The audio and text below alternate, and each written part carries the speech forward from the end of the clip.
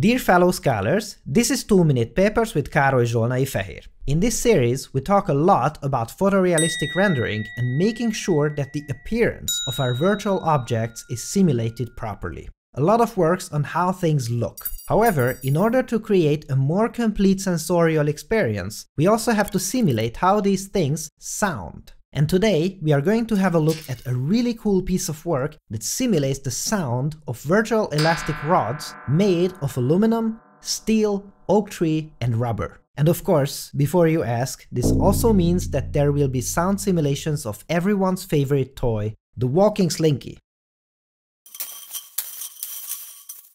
As for all papers that have anything to do with sound synthesis, I recommend using a pair of headphones for this episode. The sound emerging from these elastic rods is particularly difficult to simulate because of the fact that sound frequencies vary quite a bit over time, and the objects themselves are also in motion and subject to deformations during the simulation. And as you will see with the Slinky, we potentially have tens of thousands of contact events in the meantime. Let's have a look at some results.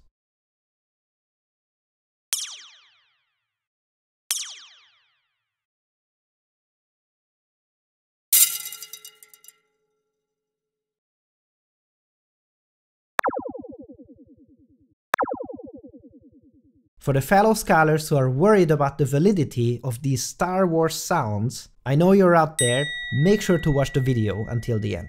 The authors of the paper proposed a dipole model to create these simulations. Dipoles are typically used to approximate electric and magnetic fields in physics, and in this case it is really amazing to see an application of it for sound synthesis. For instance, in most cases, these sound waves are typically symmetric around 2D cross-sections of these objects, which can be described by a dipole model quite well. Also, it is computationally quite effective and can eliminate these lengthy pre-computation steps that are typically present in previous techniques. There are also comparisons against the state of the art and we can hear how much richer the sound of this new technique is.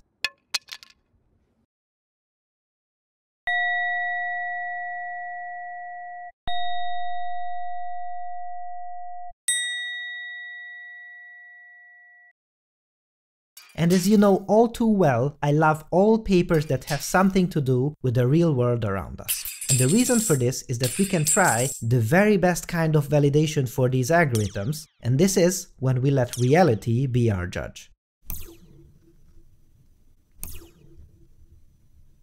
Some frequency plots are also available to validate the output of the algorithm against the real-world sound samples from the lab. It is really amazing to see that we can use science to breathe more life in our virtual worlds. Thanks for watching and for your generous support, and I'll see you next time.